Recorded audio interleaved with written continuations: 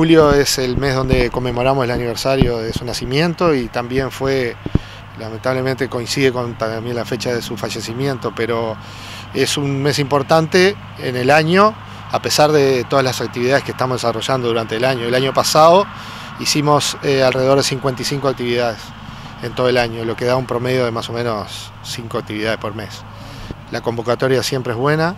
Este año comenzamos con unos conciertos de, jazz y de bossa que dieron muy buena concurrencia, eh, hubo que repetirse y esta semana de, homenajes y de, conmemoración vamos a hacer actividades de, música y también este, eh, actividades de tipo de charlas y conferencias para iniciar el viernes 21 de julio eh, tenemos el concierto entre amigos que se llama De Chopin a Piazzolla y de, Piazzolla al séptimo arte.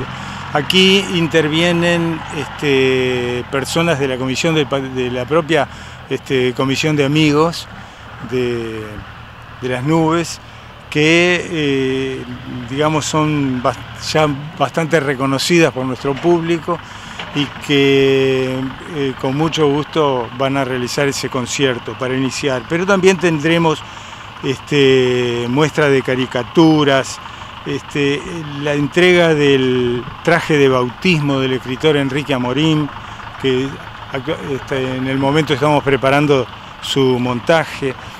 Eh, interviene la Intendencia también en esta actividad entrega de una tela de Estera Edo por Tiago Roca, eh, director del Museo Figari. Es bueno destacar que es abierto para todo público y sin, costo, ¿no? Absolutamente.